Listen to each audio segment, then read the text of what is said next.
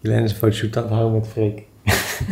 Op Hij wil niet op de foto, dus het moet zo. Hij heeft er niet zoveel zin in. hey, ehm, ja, vandaag een nieuwe dag, nieuwe kansen. Ik, eh, het is niet mijn beste dag. Ik merk dat ik vandaag dus echt eh, helemaal zoiets heb van... Toen dacht ik, ja, mijn video's zijn altijd best wel vrolijk en gezellig en zo. Maar ik denk, ja, dit is ook het leven, hè. Dus ik denk, ik pak de camera toch maar weer op. Want ik had mezelf voorgenomen deze maand wat meer te documenteren. We gaan zo naar kantoor toe.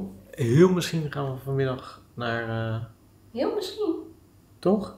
Ja, als het een beetje... Niet? Ik dacht sowieso. Dan gaan we daar wel heen. Maar goed, we gaan misschien naar een Food Truck Festival. Die video komt op Vet Gezellig online. Dus de bekendste Food Truck Festival van Nederland, namelijk Track.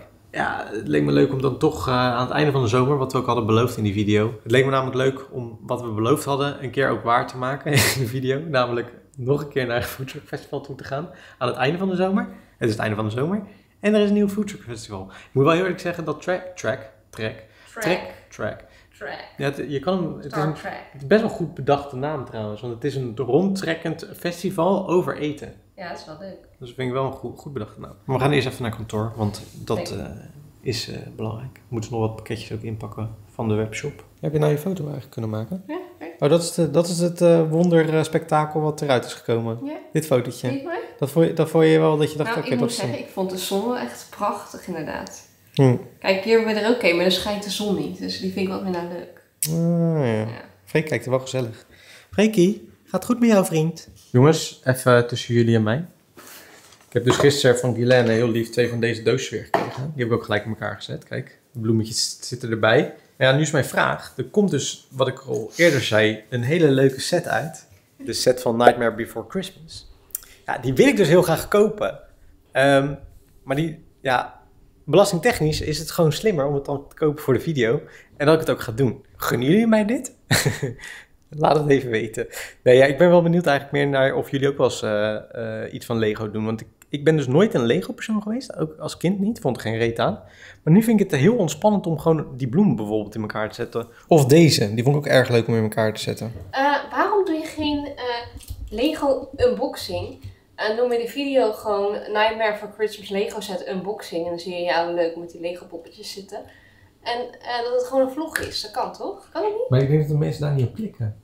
Ja, is toch geinig. Al krijg je 5k views. Ja, gewoon een extra videootje. Ja, dat is toch leuk? Ja, dus dat. Oké. Jij vindt dat toch leuk om te doen? En Ja. misschien is er wel opeens een heel publiek wat erop klinkt, klikt en die zegt van...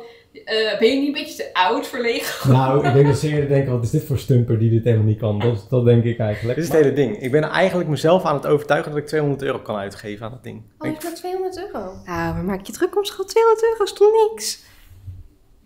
Ja, ik denk dat ik wel een aparte video maar van kan maken. Dan kan ik het tenminste aan mezelf verantwoorden. En wie weet komen er nog nieuwe kijkers. Dat zou ook wel leuk zijn. Ja, misschien krijg je wel allemaal Lego-liefhebbers. Dat zou wel leuk zijn. Ja, ik wil, die, ik wil die set, maar ik ben dus bang dat ze hem daar niet hebben. Of dat hij al snel uitverkocht is. Dus ik wil vroeg naar de mall. Dan gaan we dat toch gewoon doen? Ja. Ja. Waarschijnlijk staat er een hele rij daar, weet het wel. Dat is fuck vandalism. En dat, dat, dat is heel ironisch inderdaad voor vandalisme inderdaad. Zo, pak en bezak hoor. Mensen hebben jou al een tijdje niet gezien. Nou, Letterlijk twee dagen. hooguit twee dagen. Ja. Eh, ja, het gaat eh, fantastisch. Nee, hoor, het gaat prima. Ja, vandaag eh, lijkt je wel... Ik, heb, ik ben weer wat vrolijker opgestaan, inderdaad. Ja. Ik had de laatste tijd een beetje dipjes. Oh, nou, ik had wel een leuke dag gisteren. Ah, Ik was koffie gaan drinken bij mijn zus. Zijn we nog even gaan wandelen en nog meer koffie gedronken.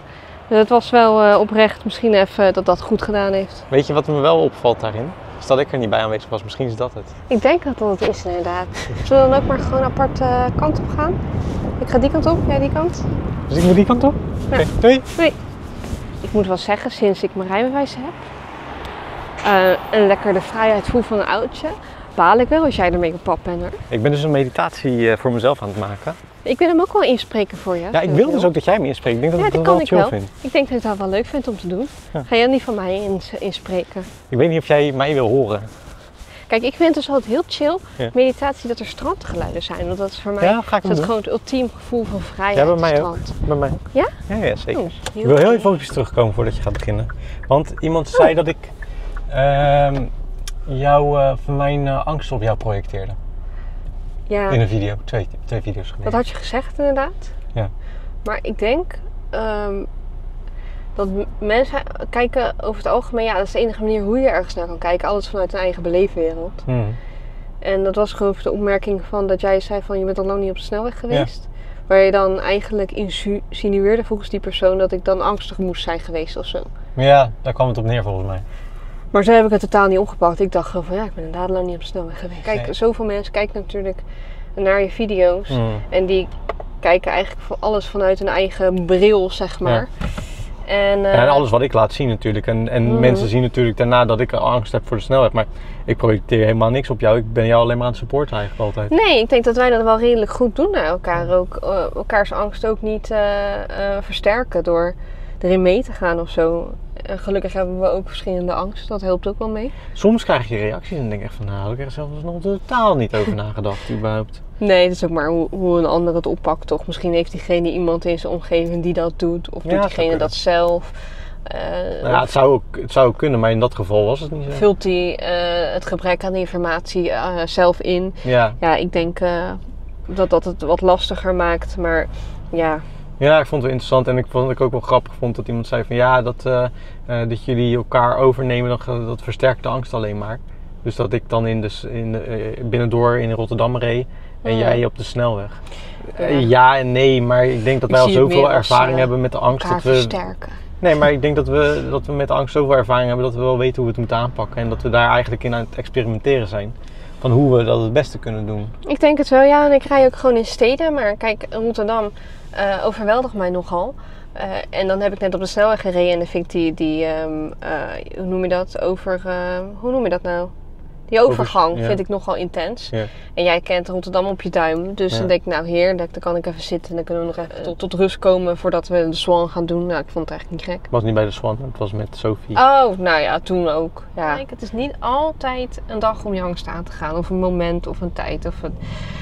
het grote moment. Je kunt angst altijd in stapjes aangaan, wat uiteindelijk ook gewoon beter werkt. Langdurig. Daar ben ik het mee eens. En nu gaan we naar kantoor.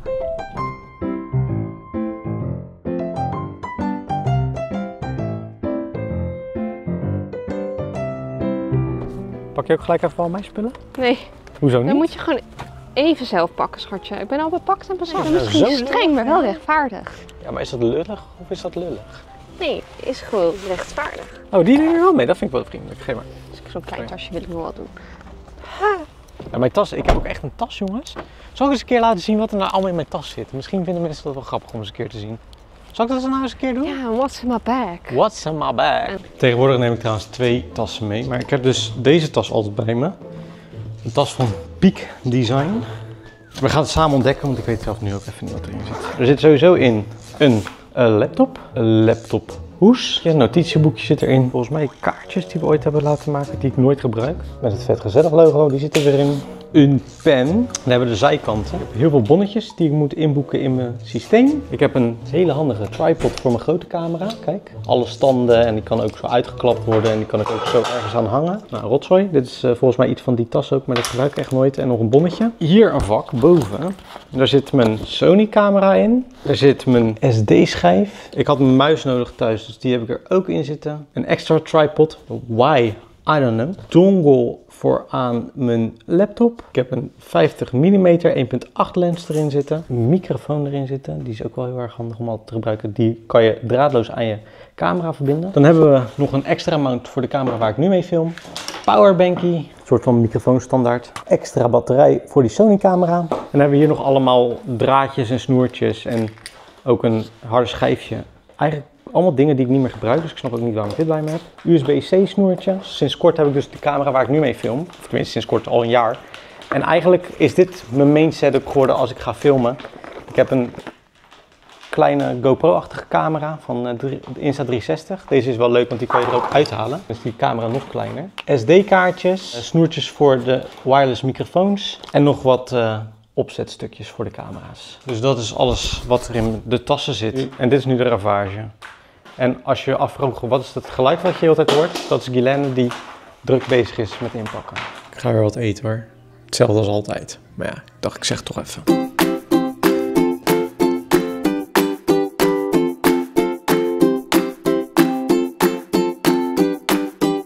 over gisteren, want ik kwam er gisteren wel achter dat ik boos zijn of boos worden heel lastig vind. Uh, omdat ik het idee heb dat je het nooit echt relaxed kan doen. ja, sommige mensen kunnen heel makkelijk boos worden. Ik kan gewoon dus... En kijk maar naar mij toch? Nou, jij kan best wel makkelijk boos worden. Mijn key emotion is uh, boosheid. Ja. Mijn key emotions is wegdrukken, die handel. Geïrriteerdheid, die kan ik wel op zich wel uiten, want dat merk je wel echt aan als ik geïrriteerd ben. Maar uh, ik, uh, verdriet kan ik ook niet zo heel goed hoor. Daar ben ik ook niet zo goed een ster in. Al zou je dat niet zeggen als je ooit uh, wat nu hebt gezien. Toen jankte ik aan Toen ging het wel goed. Ja, maar toen zat ik zo diep in de, emotie, of zo diep in de put, dan kan Ja. het wel. Maar als ik gewoon me chill voel, dan lukt het me echt niet. Om te Mhm. huilen. Gisteren voelde ik ook. Dan zit je in jezelf en dan eh, naar ademen en eh, dat soort dingen. En op een gegeven moment voel je wel een soort van verdriet opkomen. Maar dan voel ik dat ik het ook gelijk weer wegdruk. Ik vind dat zo knap als die mensen dan gewoon ter plekke gaan huilen. Ja, ik heb daar te veel schaamte voor. Ja, dat heb ik ook. Ik vind ook wel dat vandaag gaan we naar het Food Truck Festival. Want dat heb ik dan al Hmm. twee weken, of, nou heb ik eigenlijk een maand geleden besloten. Daar kijk ik eigenlijk alweer tegenop als ik, als ik de datum zie in. komen. Jij hebt er zin in? Ja, Ja. ik, ja. Ik vind het wel leuk. Nee hoor, ik vind het ook wel leuk om daarheen te gaan. Maar ik zie dan allemaal, ah ja, we willen een leuke video maken. En ik, ik hang er dan veel te veel Ja, dingen aan op. Dat ik denk, ah ja, maar dan wil ik wel dat die video tof wordt. En dat die beter wordt bekeken dan die andere. Terwijl ja, dat Mhm. slaat natuurlijk nergens op. Dat weet ik helemaal niet. Misschien vinden mensen één video leuk en daarna niet meer. Maar ik moet het gewoon zelf leuk vinden. Ik vind het wel leuk om daarheen te gaan. Maar ik leg Ja. te veel druk op, op de zaken eromheen om de video te ja, maken. maar het is ook niet heel gek, hè? Want dit is toch ook je, je werk. En tuurlijk, je moet plezier hebben in je werk, maar het werk moet ook lonend zijn. Want anders, dat, dat is ook een cirkel uiteindelijk. Ja. Als het niet lonend is, dan gaat het plezier weg. Ja, maar het is wel heel snel dat het dan weer niet lonend genoeg voor Ja, me is, hoor, jij schat. gewoon eeuwig vanuit, eh, dat zit gewoon echt helemaal in jou. Je maakt je zorgen altijd maar om geld. Ja. En of je wel je leven eh, kunt leiden en jezelf kunt onderhouden. Met hetgene wat ik leuk vind. Ja, terwijl het lukt al zoveel jaar en nog durf je daar niet vertrouwen in te hebben. Dat op een of andere dag eh, zou het voor jou zomaar opeens over kunnen zijn. En dan, ik denk eerlijk gezegd, al zou dat zo zijn, Mm. dan ben je creatief genoeg. Je hebt, je hebt ehm, genoeg skills om er Mm. alsnog wat mee te gaan doen. Daar heb je gelijk in, inderdaad. Maar ik zie dan alle eh, YouTube AdSense eh, kelderen en dan denk ik, Ja. oeh, is dan nu de daling in? Dat is een hele slechte... Maar je kan ook Mhm. denken van, oké, nou, hoe gaan we dit eh, ondervangen? Dat is, zo kan je ook daarnaar kijken, maar dat is niet mijn eerste... inderdaad. Ja. Maar ik denk dat dat het, eh, het moeilijke is aan zelf eh, ondernemen en, en dit werk doen. Dus dat je heel erg afhankelijk bent van veel factoren. Het is ook niet gek dat je daar onzeker over bent, maar je mag ondertussen wel een beetje vertrouwen erin hebben dat het altijd wel weer op zijn pootjes terechtkomt. de video's dat we aan tafel dingen proeven, zoals de Brett's video van eh, vorige week... Dat, dat is, er is gewoon zoveel uur editen in. Dat, is, eh, dat doe ik als die food video die we dan vanmiddag gaan opnemen eh, bij de festival. Ik denk dat ik hem makkelijk binnen een derde van de tijd kan afmaken. Maar dat is toch bizar eigenlijk? Waar, waardoor komt dat precies? Omdat ik het heel goed wil doen. En misschien wil je het te vloeiend ook maken. En dan is het Ja. moeilijker met dezelfde beeld ja, de hele ja, tijd. Ja. Vloeiend. En het is gewoon veel uitzoekwerk. Het is een eh, anderhalf uur aan materiaal. Mhm. Nou, dan moet je gaan spotten. Moet je de leuke stukjes. Dan wil je ook nog wat het leuker maken. Want het is best wel statisch. Dus je, Mhm. kijk, als je ergens bent, dan ben je gewoon lekker aan het filmen. En dan kan je het al snel best wel leuk maken. ja. Maar ik denk dat ik een vlog maken echt tien keer makkelijker vind dan een eh, food video. Ja. Eh, op die manier. ja, precies. Maar goed, soms heb je van die dagen, jongen. En je moet toch uiteindelijk filmpje, filmpjes maken. Filmpjes.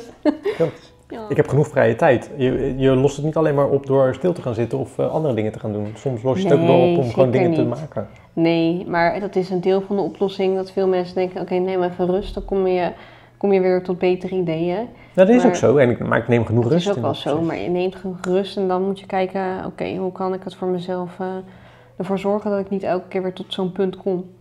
Ja, dus denk echt planning Mhm. en organisatie. Beter Ja. begrijpen en beter weten wat je wil gaan doen. Want het is bij mij al tien jaar alleen maar een beetje aankloten. Zo voelt het ook altijd. Jongens, we gaan even eh, shirts halen. En ik hoop dus dat het ook eh, de shirts zijn die we willen. Vooral de maat M was nogal in trek van eh, het eh, roze shirt. Dus we gaan even naar de eh, drukker waar we het allemaal laten drukken. Het wordt trouwens lokaal gedaan in Voorburg. En het is allemaal fair trade. En biologisch katoen. Ja, maar serieus? Daarom ik dus- betaal je ook grof geld voor. Ja, dat wel. Ik betaal, daarom is het ook wel wat duurder dat dan de meeste mensen gewend zijn. Al moet ik zeggen, vind ik het wel meevallen hoe duur het is. Voor wat je krijgt, de kwaliteit. Maar Ja, we gaan het even ophalen.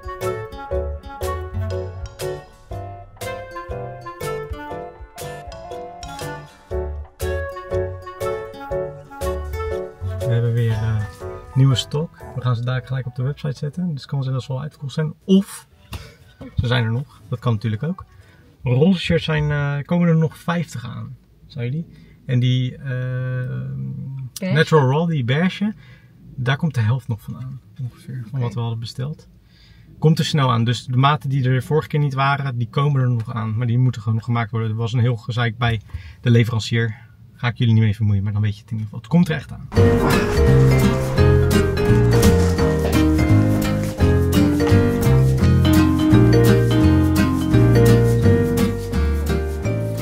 Zo, zoals je kan zien hebben we genoeg emmen. Ik hoop als deze online is dat er ook nog zijn. We hebben ook drie XL'tjes weer binnengekregen. Een XL en een L'tje en een 2XL. Van elk komen er nog echt veel binnen hoor. Dus dat uh, komt echt eraan.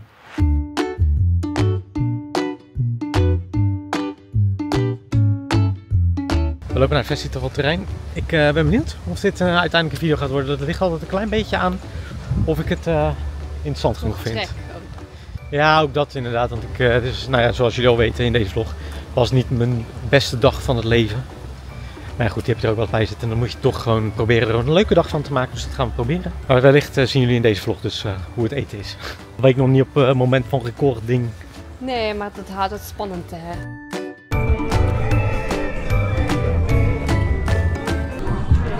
Alles gaat fout wat er fout mag gaan. Ik had mijn uh, microfoon dus niet aanstaan. Dus de beelden die ik aan het praten was zonder Guilaine naast me, hoor je me niet. Dat is heel handig. Maar we zitten ook even te kijken. Dit wordt geen review video. Want daar is het gewoon echt even net iets te, te krapjes voor. Ziet dit er lekker uit? Juicy blackberry. Willen we dat dan? Gaan we toch maar ervoor dan? Ik vind het er wel lekker uitzien hoor, schat. Nou, dan gaan we toch gewoon enjoy. Oké, okay. change of plans. Het wordt toch een video.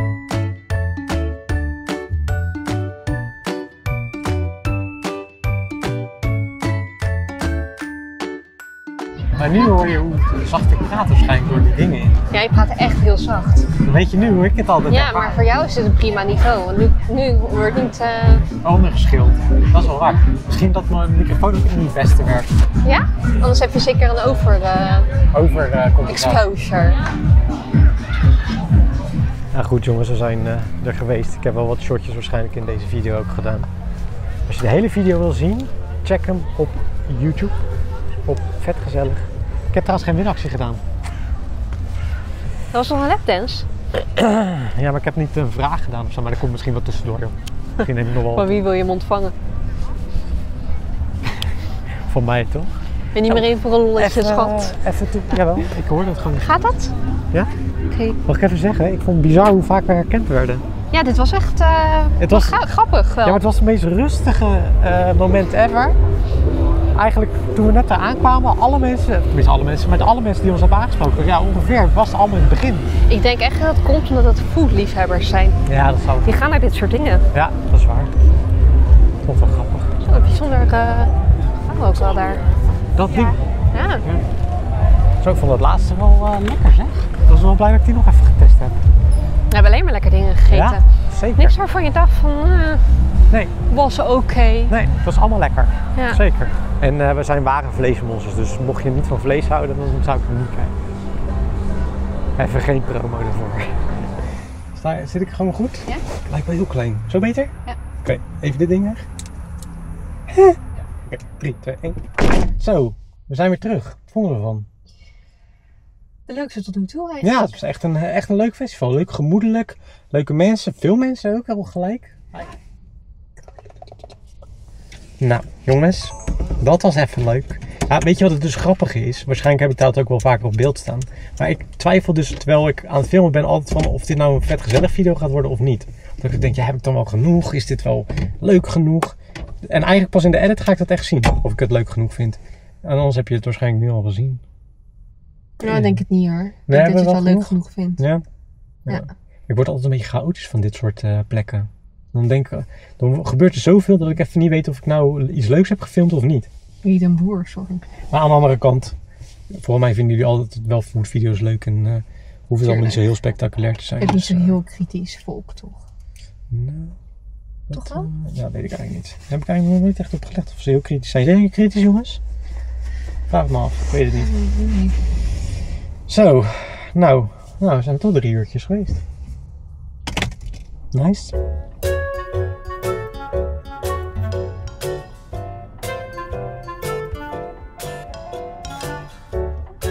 What's with Andy? What, what, what? Zo, dat is cool. What's with Andy? What, what, what's with Andy? Kennen jullie dat? Daar was ik trouwens te, eigenlijk te, te oud voor. Dat was niet meer echt mijn generatie eigenlijk. Oh, dat maakt dan niet uit, schat. Maar ik vond What's with Andy wel altijd heel erg leuk. Ik was ook allemaal te oud voor Victorious en iCarly en ik keek het ook allemaal. Hé hey jongens, even tussen jullie en mij hè. Dat liedje van eh, Bruno Mars en Lady Gaga, dat vind ik echt zo'n mooi liedje. Ik moest even kwijt. We hadden net op de, in de radio, op het, eh, we hadden net in de auto opstaan. En dan kan je zo lekker meezingen, vind ik. Het is echt zo'n lekker meezingliedje. Ja, plus dat het over ons liefdesverhaal gaat. Toch? En Down with a smile. Precies. kan jij, heb jij een vooruitziende blik dan of zo? Ehm, If the world is ending, I wanna be next to nee, you. het is gewoon, ehm, ja, stel Is dat, dat niet- weet je. Het is niet dat het gaat gebeuren. Wat je eigenlijk niet ziet in de foodvideo's, is dat we nu allebei echt fucking kapot zijn. en waarschijnlijk nu, ook, ook al is het nu iets van half acht of eh, zeven, half acht volgens mij, waarschijnlijk in bed gaan liggen. Lekker in bed, ja. Ja. Maar wat ik wel jammer vind is dat er geen B&B is nu. Is een B&B. Nee, want het is vrijdag. Maar we hebben altijd nog ChatGPT om te vragen welke film we kunnen kijken. Dat is waar, inderdaad. Dat gaan we zo maar even doen. Eerst Want we hadden laatst ook hadden een Nurse Betty gezien. Dat vond ik best wel leuk. Ja, die was leuk hè? Dat was Ja. een grappige film. Ja. Maar die hadden we niet via eh, ChatGPT, die, had ik, die wist ik nee, gewoon die werd gewoon aangeraden, inderdaad. Door, Videoland. nee, door mij gek. Oh. Die stond gewoon dat die net geüpload was en ik zei van die is leuk. Oké, nou, take the credits, babe. It Ik ben, you. ik ben jouw ChatGPT toch? Nou, je bent wel bij Google Maps.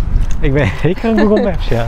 Als ik, als ik geen eh, YouTuber was geworden, dan was ik Google Maps specialist, denk ik. Ik hou nooit zo van de lift delen. Niet omdat ik het... eh, gewoon omdat ik het ongemakkelijk vind. Niet dat ik denk van, eeuw, laat me alleen staan in de lift. Maar Nee, gewoon ja. dat je dan zo heet, dat staat daar wachten zo. Oké, Ja. fijne avond. Ik zit ook altijd te wachten totdat ik dat mag zeggen. ja, ik weet ook niet wat het is. Dan sta je in de lift en dan denk je van, ja, je wil ook gewoon altijd vriendelijk tegen iedereen zijn. Dus hoi, hi, hi. En dan daarna van, nou, fijne avond, hè, maar ik ben altijd de eerste die het zegt. En soms heb je van die bronpotten. Van, mm, mm. Wat ben ik dan? En jij zegt soms niet, jij zegt, als ik het soms zeg, zeg jij het gewoon niet terug. Nee, ik vind eigenlijk dat wij één zijn. En als jij het gezegd hebt, dan hoef ik het niet meer te zeggen. Het slaat nergens op. Dat vind ik. Ja, Nou, dat is ik- wat vinden jullie zo? daarvan? Laat het vooral weten. Vind je dat zij, zij het ook moet zeggen of moet ik het alleen zeggen? Of is dat dan een done deal dat het allebei Gun me ook eens even wat, joh. Komt jij een keer naar ons toe? Ja, eindelijk. Kom, liefie. Ricky. Heb je zo lang gelegen, lieverd? Ik Ik vind, zo dol op een mannetje. Op mij of op Freek? Nee, op deze. Zoals ben zo lief. Zullen we nog bokkie gooien? Broekie gooien, ja? Ga jij broekie gooien, Freek? Of gaan wij broekie gooien voor jou? Nee, loopt normaal. Ja? Ja, Oké, dan heeft hij misschien heet op die poot gelegen. Kan dat? ja dat kan wel. Ik denk dat hij misschien eh, een beetje versikt heeft of zo met eh, afspringen van iets. Nee, jij ging, jij ging... Kom eens hier. Maar als ik eraan zit, dan doet hij niks. Heel moeilijk. Ja, je moet hem dan niet laten springen natuurlijk. Als hij al iets heeft, dan moet je hem niet laten springen. Ja, maar dan doet hij dat toch niet? Dus Nee, maar schat, eh, dieren gaan altijd over hun eigen grens heen, hè? Oh, Honden vooral trouwens, die gaan echt makkelijk over hun eigen grens vind ik zo zielig. Ja. Zo, dit is alweer de derde video in september. Ik hoop dat jullie het leuk vinden. Over een paar dagen komt er weer een nieuwe video.